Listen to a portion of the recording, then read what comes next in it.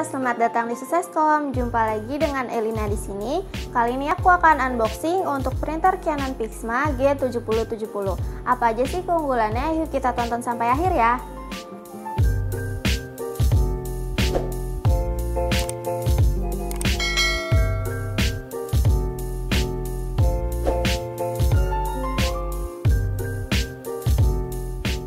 Oke, langsung aja kita unboxing printernya ya. Di sini ada kartu garansinya. Ada CD driver dan buku instalasi manualnya. Tersedia juga kabel power, kabel USB dan kabel line teleponnya. Tersedia juga tinta warna dan tinta hitamnya. Lalu ada print head color dan print head blacknya. Dan ini dia unit untuk printer Canon Pixma G7070. Oke guys, sekarang aku akan jelasin beberapa fitur-fitur keunggulan untuk printer Canon Pixma G7070. Yang pertama, printer all-in-one ini sudah bisa print, scan, copy, dan fax. Yang kedua, printer Canon G7070 ini sudah kompatibel dengan berbagai sistem operasi seperti macOS El Capitan hingga macOS seri terbaru serta Windows 7, Windows 8, dan Windows 10. Yang ketiga, wadah tinta yang sudah built-in membuat kita dengan mudah melihat level tinta tanpa harus membuka body printernya.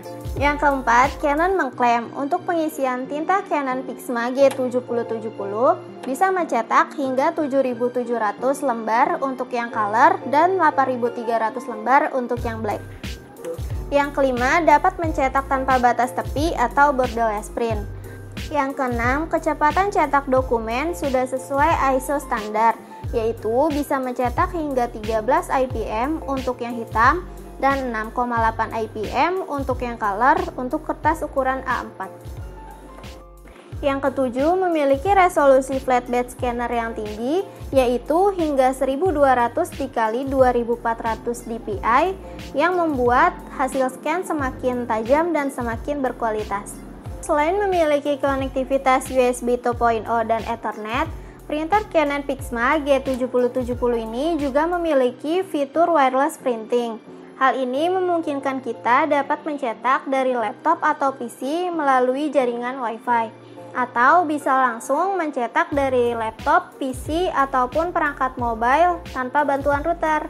Yang kesembilan, printer ini mendukung AirPrint, Google Cloud Print, dan Canon Print Service yang memungkinkan kita dapat mencetak foto, email, dan dokumen dari smartphone kalian. Tak hanya mencetak, printer ini juga dapat mengirimkan hasil scan dokumen langsung ke smartphone, PC, atau laptop kamu. Yang ke-10, printer Canon Pixma G7070 ini memiliki fitur ADF yaitu Auto Document Feeder yang membuat kepraktisan dalam mengcopy dan scan hingga 35 lembar dokumen untuk ukuran kertas A4 bahkan F4 secara otomatis. Yang ke-11, layar LCD yang memiliki tampilan menu sebanyak 32 bahasa termasuk bahasa Indonesia yang membuat printer Canon Pixma G7070 ini sangat user friendly dan memudahkan kita dalam mengoperasikannya. Lalu printer ini memiliki auto duplex printing yang membantu kita untuk menghemat pemakaian kertas dengan memanfaatkan kepraktisan cetak dua sisi atau depan belakang secara otomatis. Yang terakhir, printer ini memiliki dua wadah kertas yang memungkinkan kita dapat mengisi dari dua sisi sekaligus melalui tray depan ataupun tray belakang. Jadi kita tidak perlu repot untuk mengeluarkan tumpukan kertas dan memuatkannya kembali. Oke guys, itulah beberapa fitur-fitur keunggulan untuk printer Canon Pixma G7070. Untuk spesifikasi dan kelengkapannya, kalian bisa cek link di description box di bawah. Kesimpulannya, dengan dimensi dan bobot yang besar, printer Canon Pixma G7070 ini cocok untuk kebutuhan cetak di kantor, dan profesional yang membutuhkan spesifikasi printer yang high-end.